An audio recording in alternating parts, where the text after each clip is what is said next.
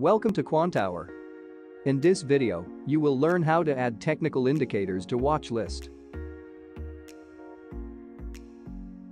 First, click on the Add Technical Indicator button on the top right corner of the watchlist panel. Type in the name of the indicator. Let us select the Supertrend indicator and enter the required parameters, just like you add the indicator on the charts.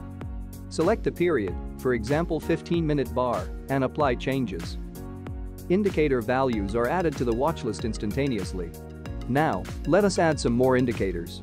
You can also right-click on the watchlist panel and from the context menu, select Indicator option. Search for EMA indicator and add the indicator with required parameters and interval.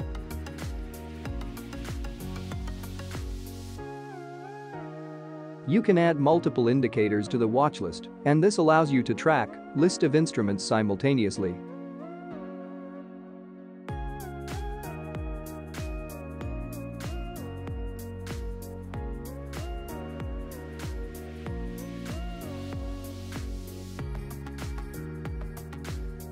Using the bar indicators, you can add the open, high, low, or volume values for a specific interval.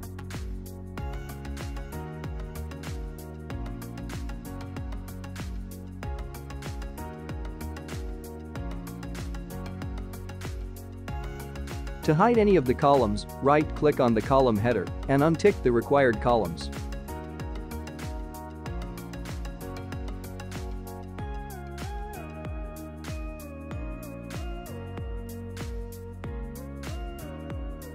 To delete the indicator columns from the watchlist, you need to click on the indicator option and delete the indicator.